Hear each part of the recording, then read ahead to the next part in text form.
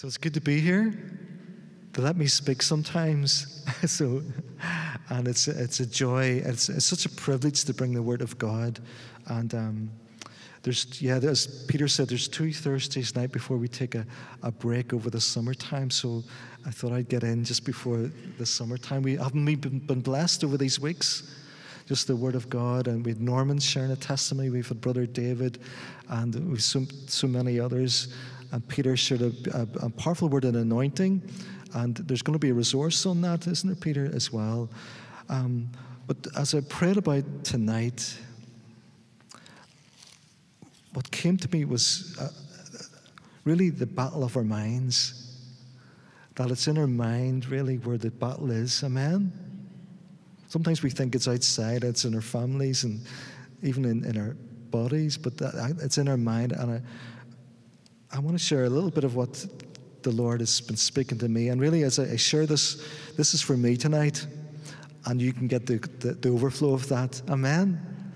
Um, and again, just thank you for coming out. Whether it's if you, it's your first time, and I think Richard, might be your first time here in St. Patrick's. And it's good to see Lucinda here as well.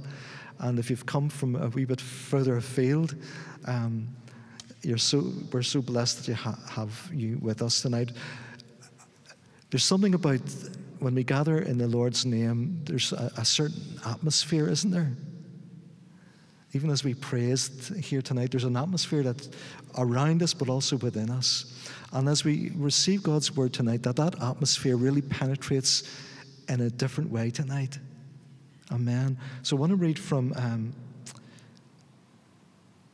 two, two passages, really. Um, and the first, you'll know very well from Romans 12. And this is Paul writing to the church that met in Rome. I beseech you, therefore, brethren, by the mercies of God, that you present your bodies a living sacrifice, holy, acceptable to God which is your reasonable service. And then verse 2 And do not be conformed to this world, but be transformed by the renewing of your mind. Say, the renewing of your mind.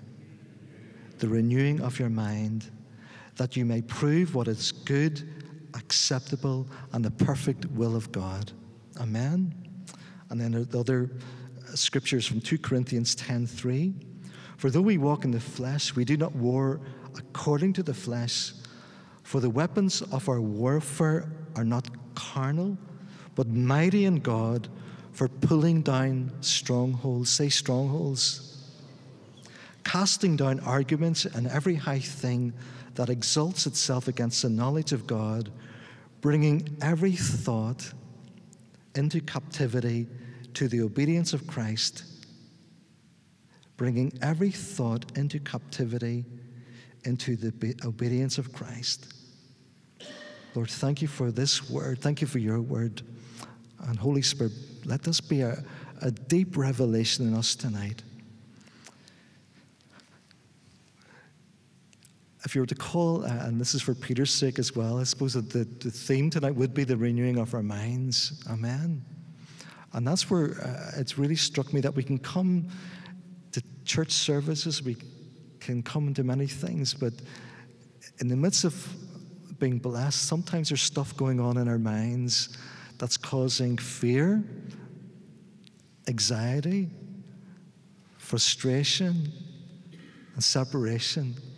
Or is that just me? Do you identify with that? Amen. And I really felt uh, and sensed for tonight just to press into this a little bit for Fergus McMorrow, first of all, and hopefully for yourselves. And also something here, I want to bring something practical that we can bring into the summer months that would bring transformation and hope. Amen. Reading the Psalms, um, there's a word that keeps coming out, and this is really going to bring us into a practical outworking of this. Psalm 63 6 says, when I think of you, Lord, as I lie on my bed, I meditate on you during the night watches. And I want to link renewing the mind with meditating on the Word of God. renewing our minds through meditating on the Word of God. Can we journey in that for a few moments? And then we want to do something about it and respond to it. And we think of the word meditation has got a bad rap, hasn't it? It's got a bad rap, and yet it's a biblical word. It's like a lot of things that are of the Lord. The enemy tries to steal it and corrupt it, but actually, it began. Meditate began in the Word of God, and particularly if you look through Psalms, it's filled with meditation, and lots of other scriptures are filled with that word meditate. The word in Hebrew is, I'm going to butcher this, I'll try my best. Hagah, H A G A H. Have to say how H there. Have to watch how I say that. Hagah. Say Hagah. And really, what does that mean? It, it's the same idea as eating. And it means as we meditate, as we Hagah on the word, we encircle the Word of God, we surround it, we ingest it. And once ingested, it's like eating food, it becomes part of our bodies. You are what you eat. Amen. And as I was praying about this, at a very uh, non religious image came into my head, actually, which often God speaks to me like that. And uh, do you remember the old westerns? Some of you are too young to remember them, but the old westerns, the guys used to be chewing and then they'd spit. And I think it was tobacco, wasn't it, that they were chewing this? It didn't look very nice. That they would chew this tobacco and then this, and it'd go by 20 feet. And when I was five or six, I got a cowboy outfit for, for Christmas with red corduroy trousers and and the wee, wee jacket probably still fits me to be honest, and a big badge and a holster with two silver guns. And I was watching the, I thought, I think I could do that. So I got the, the water and tried to do the, and of course it went all over me. But that image came back to me because as we ingest the Word of God, as we allow just to ruminate in our minds what comes out then? And stuff, when stuff happens, is that same word. When we get news of something, when somebody, like poor Peter here was uh, somebody as he was going home a few weeks ago, uh, a car pretty much banged into him on the motorway and rode off the car, and we're praying for a new car. But again, um, Peter began to pray for the guy, I'm sure. I think he did. You told me that. So it's in those situations, whatever we've been chewing comes out. Does that make sense? And that, just that encouragement to what, what are we ingesting? What are we ingesting? One of the fun, fundamental words for the Israelites, of course, is Deuteronomy 6 4, 6, the Shema.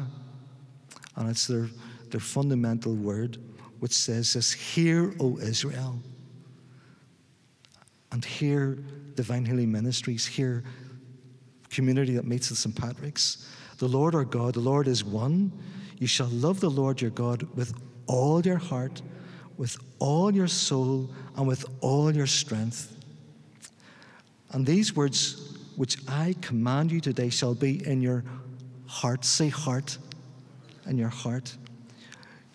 And this really challenged me today as was, and over this week as I looked at this word. You shall teach them diligently to your children, and shall talk of them when you sit in your house, when you walk by the way, when you lie down, when you rise up.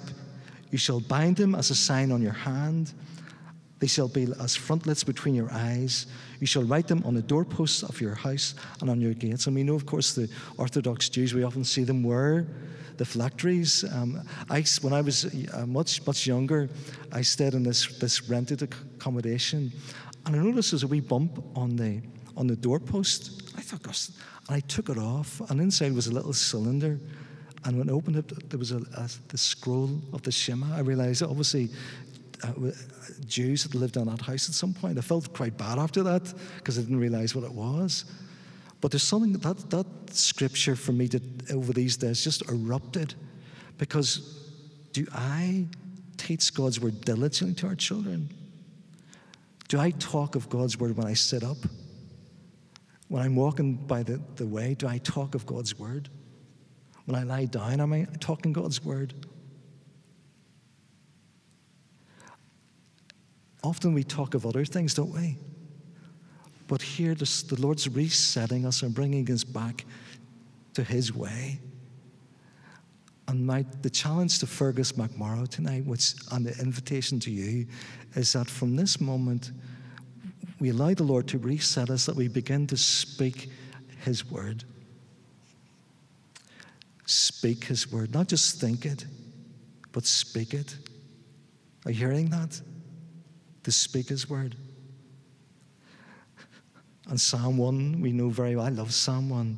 Blessed is the man who not, walks not in the counsel of the ungodly, nor stands in the path of sinners, nor sits in the seat of the scornful, but his delight is in the law of the Lord, and in his law he meditates day and night, day and night, day and night. And what happens when, when he does that? He shall be like the tree planted by the rivers of water that brings forth its fruit in season. Amen. Joshua 1 8. This book of the law shall not depart from your mouth, but you shall meditate. Are you getting it? You shall meditate in it day and night.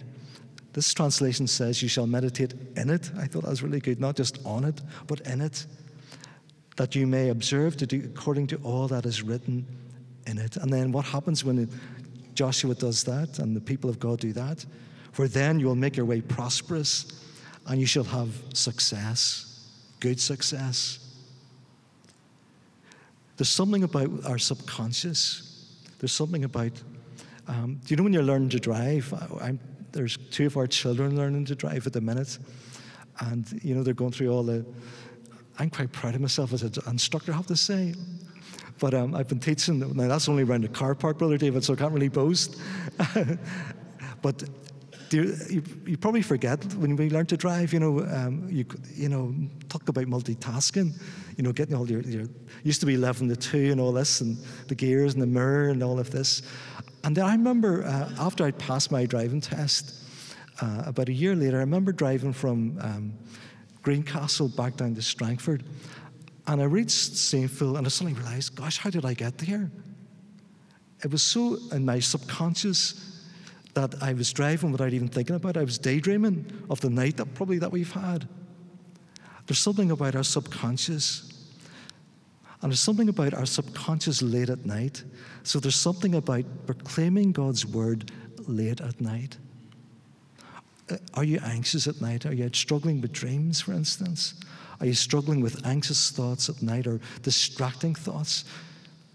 I sense the Lord saying to me, first of all, Fergus, begin not only to, to read quietly my word, but to speak it out. To speak it out. Some people I know listen to God's word as they go to sleep as well, just through their earphones. But there's something about speaking out God's word.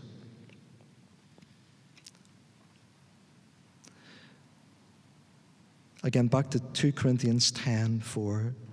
For the weapons of our warfare are not carnal, but mighty in God for pulling down strongholds, casting down arguments, and every high thing that exalts itself against the knowledge of God, bringing every thought into captivity to the obedience of Christ. Sometimes we think when there's stuff going on in our minds that we, we need to bind, we need to plead the blood of Jesus and do all these things. But do you notice what it says here? For the weapons of our warfare, not the weapon. Sometimes we think there's one solution for everything. There's a one remedy for anything. What the Lord seems to be revealing is to have that wisdom to know what's the weapon for a particular spot. And for our minds, for the renewing of our minds, it's not about binding, it's about proclaiming His word. Amen. There's something about the renewing of our mind comes through not so much through prayer. Prayer is important, but it's about proclaiming His word, hearing His word. Because the, the key part there is it talks about imaginations. The stronghold in our mind is the imaginations. And if we find, if we're deflecting to anxiety, to criticism, to gossip, gossip, which is the, the enemy's DJ track is gossip, isn't it? Criticism is the music of the enemy. If our imaginations are going in other directions, the encouragement, the invitation of the Lord is to begin to proclaim His word. And we're going to do that in a moment. Most of the things we battle are in our mind. Is anybody worried about tomorrow? And it's a very, we have to be honest here. There's times I, oh gosh, we're, th- we're okay, this team retreat, have, have we got our, by the way, the food sorted? Don't bring any food, by the way. Okay, there's things, to, and there's, that's natural to be, but actually, if we're constantly being worried about tomorrow, there's a stronghold there. And we can come for prayer, which is great, but actually, the tearing down of that stronghold is through the proclamation of God's word. That we get a, a, a yes, we get our brains washed through His Word. You know, sometimes that's an accusation. Ah, oh, you're brainwashed. No, I'm blood washed. I'm word washed. I'm Holy Spirit washed. That's what I want. Amen.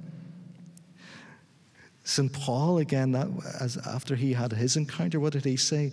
My present suffering is nothing compared to the glory that will be revealed. He could have been worried about tomorrow, and yet he says, My present suffering is nothing compared to the glory that will be revealed. So we don't fix our mind just simply by praying. Ephesians 6:13 what's the first piece of armor? The helmet of salvation. Put on the helmet. Isn't that interesting? That's the first piece of armor to go on. That says something, doesn't it? So, uh, for, for, again, for Fergus McMorrow, the Lord is saying, Fergus, check your mental state. Check your thoughts. Check what's going on up here. Where your thoughts go, that's where your body will go. Where our thoughts go is where our body goes. And that's often that's why worry begins to show itself in sickness. That's why unforgiveness begins to show itself in sickness. Isn't that right? We know that. Not to say that every sickness is due to that, but it's something just to, to recognize. We can see it in ourselves and in others. When God wants to lift you or I up, he will allow us to be tempted, even in our thoughts, but not beyond what we can bear. Amen. He will provide a way out and a way through. So I want to come to the how do we fix this? How do we fix these thoughts that are going? Is any of this resonating? These thoughts that go through our mind. Because what the Lord calls us to is to have a calm spirit, which is His Holy Spirit. Yes, we can at, at times have a righteous anger, but have you been around someone who carries just that calm spirit? It's beautiful, isn't it? There's something, you know, this person is established in God's word. God's word is established in them. So here's, here's the challenge for you and for me. And I want, I want us to do a, a week's trial. Can we do this? It's free. You ever see those? The first week is free. Okay, this is free. And in fact, the next week's free as well, but don't tell anybody. So here's, here's a wee challenge for you and to me, and to begin to do this. And come back next Thursday and say, I can promise you something will have happened. In fact, we'll put money on it. Amen. For week one, just uh, start with one scripture. Uh, say Philippians 4:13. I can do all things through Christ who strengthens me. Amen. I can do all things through Christ who strengthens, strengthens me. Can we say that together? I can do all things through Christ who strengthens me. Say it again. I can do all things through Christ who strengthens me. What about from tonight? This is Thursday night, the 13th of June, 2024. As we go to sleep, before that, even to begin to say, I can do all things through Christ who strengthens me. Not just to quietly, but to speak it out. I've been doing this all day, and I, could, I could feel a difference deep in within me. I can do all things through Christ who strengthens me. I can do all things through Christ who strengthens me. And then begin to make it personal. If you've got a, has anybody got an appointment tomorrow? There's a few people might have an appointment tomorrow. In this appointment, I can do all things through Christ who strengthens me. In this appointment, I can do all things through Christ who strengthens me. Do you have a difficult conversation to have with someone? In this conversation, I can do all things through Christ who strengthens me. And just begin to pray it out loud, to proclaim it out loud. Go to sleep with that going on in you. Amen. And then when you wake up, and what's your dreams actually? What do you do when you wake up? Don't lift your iPhone. Don't lift the, the, the radio, turn the radio on. Let that be our first word. On this Friday morning, I can do all things through Christ who strengthens me. And this day, uh, Lord, and all that I have to do today as we prepare for our team retreat, I can do all things through Christ who strengthens me. I'll keep doing that through tomorrow until tomorrow night. And make it personal. There could be a situation that you're facing. In this situation, I can do all things through Christ who strengthens me. Get to, to Saturday, to day two, and pick your biggest issue. And even right now, in this moment, what are your three biggest challenges, biggest issues, the things that are deep within you right now? Can you think of three? Or even think of one? It could be for yourself, it could be a family member. Usually they come right away. I know mine's already there. Amen.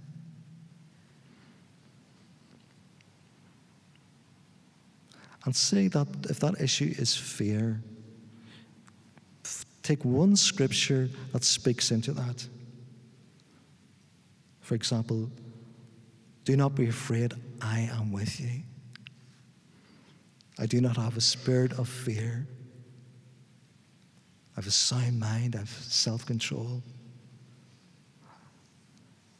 And begin to proclaim that aloud through the day. Amen. But you'll know what your, your biggest issue is and what's, what's the scripture that will speak into that. If it's to do with healing, find a healing scripture. If it's to do with finance, if it's to do with reconciliation with a family member, and just speak that out aloud through the day and make it personal. Again, if it's fear, I will never be afraid because God is with me. He's never left me, never left me. His angels surround me.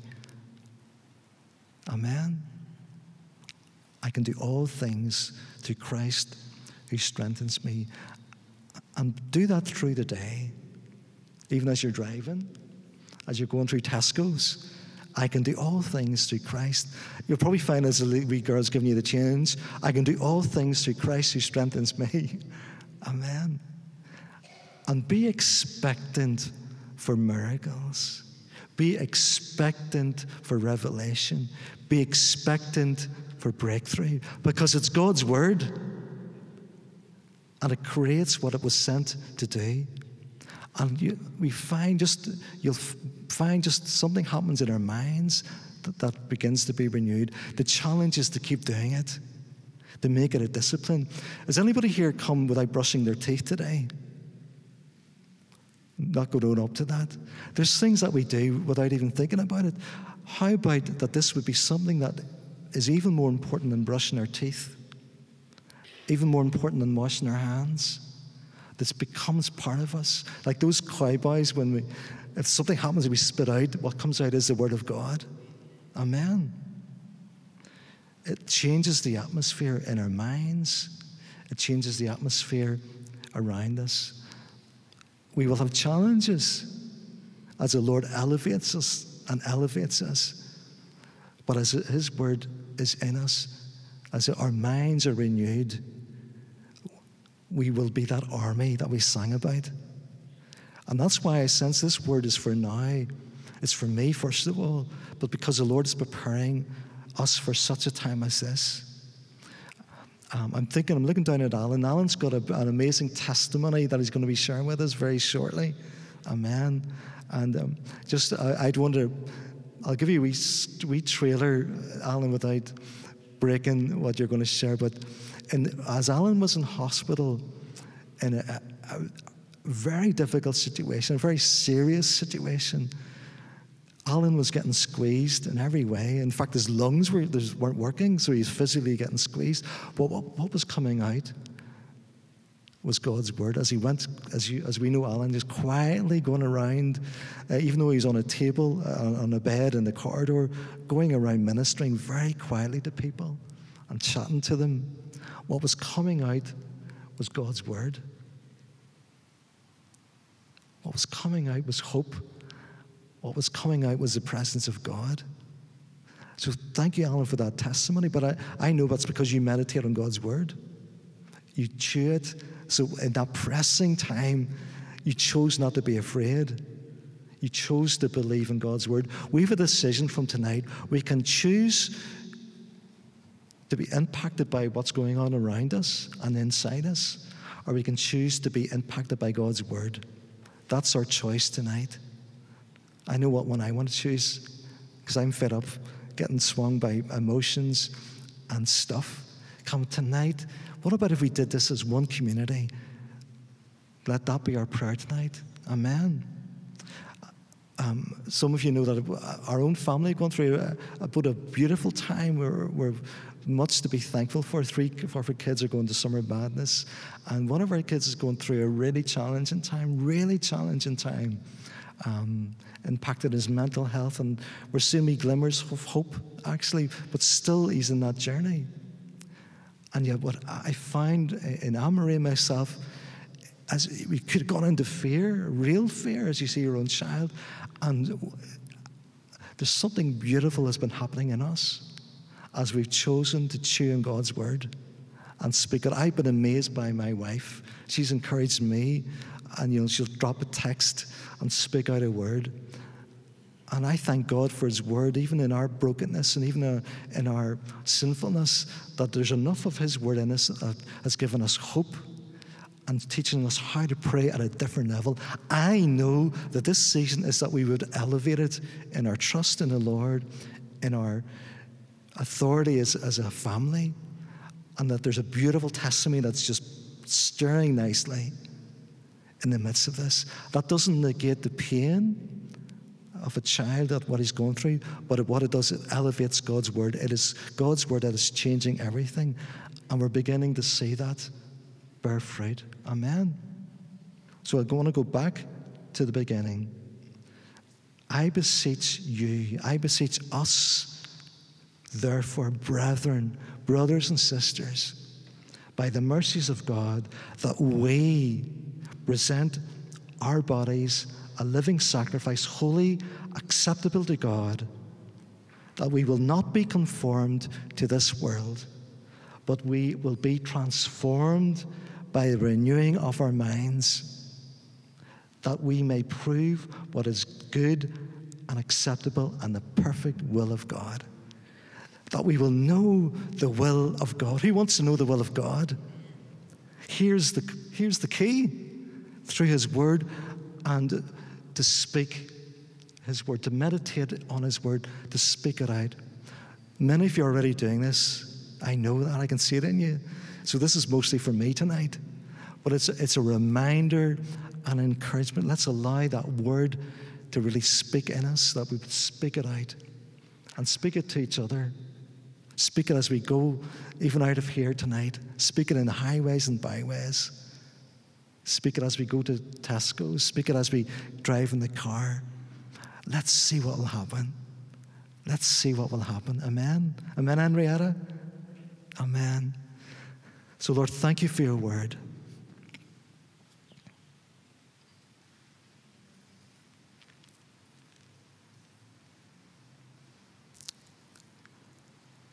Lord, thank you for this invitation to meditate on your word, to chew it, to allow the word of God to renew our minds, transform our minds. For each person here, everyone who might watch this recording, this day, I choose, Lord, to meditate on your word, to speak it out, to speak it out, to proclaim it, even to sing it. And come, Holy Spirit Come, Holy Spirit, bring that revelation of the love of the Father. That we would know the will, the perfect will of God. In Jesus' name, amen and amen.